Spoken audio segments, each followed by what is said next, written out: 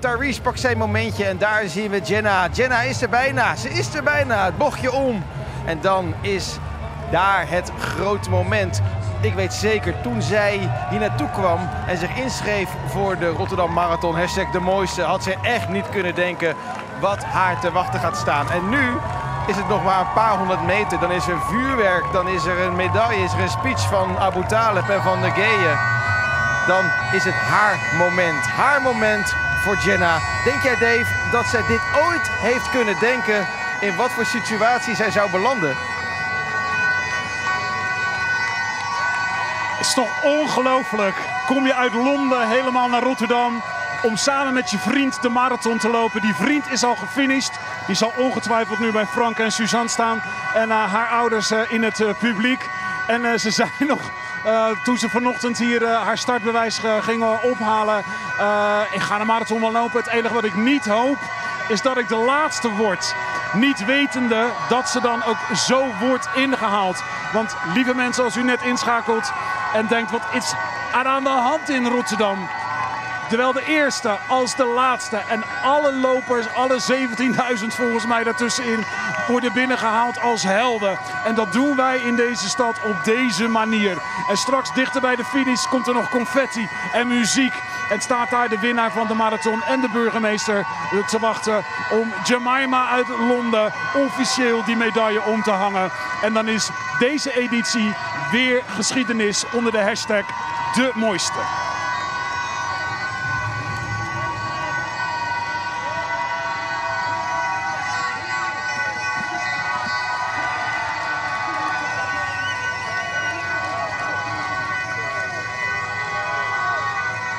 En achter Jemima nu inmiddels ook uh, de politie met de lichtjes en uh, de sirenes.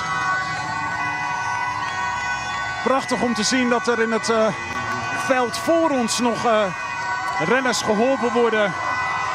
De vrienden ondersteund.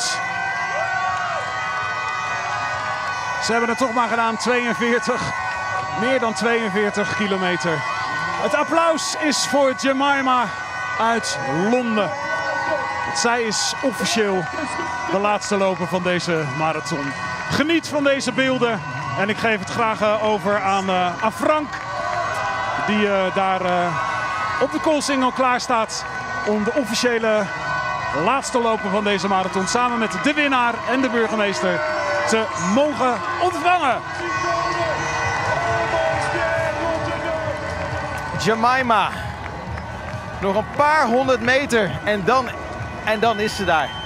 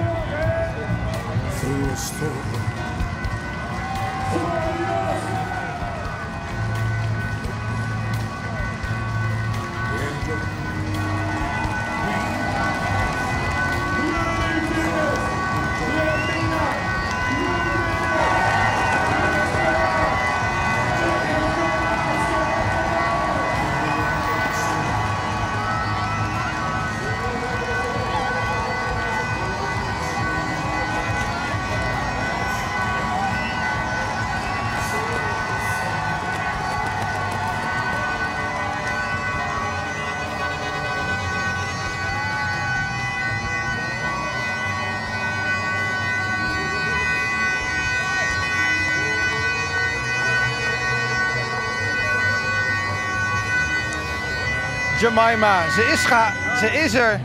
En hier krijgt ze gelijk. Ze weet niet dat ze naar de burgemeester moet. Jemima weet, this is our major. You speak English? I do. Oh, I'm the mayor of the city. Oh my God. I'm here with the with, with, with, with, oh my God. with the sponsor to say hello to you and, welcome. Um, and um, Thank you. I have it's also a the, beautiful city you have. I love it here. Oh my gosh. I have been watching you on TV. You did the excellent work. Thank you very much. Wow. I feel like this isn't real. I hope you still carry these. Thank Congratulations. you so much. Jemima, you're live on the Dutch television. Did you ever expect such a finish? Absolutely not. Thank you. I feel like I'm. I need to sit down. Maybe. Maybe. Where's my boyfriend? I don't know. Who, who is he? He's called Ben Brown, and he has run the Mar- Marathon Rotterdam in a much shorter time than I have. That's for sure. I need to go congratulate him. But we want to congratulate you because you're a hero as well. It doesn't matter if you are the real winner or the last runner, you are a hero. Do you know that? You're all wonderful people here. I mean, this is so classic Rotterdam from what I've known so far. You're all so kind and wonderful, so thank you so much. This is amazing.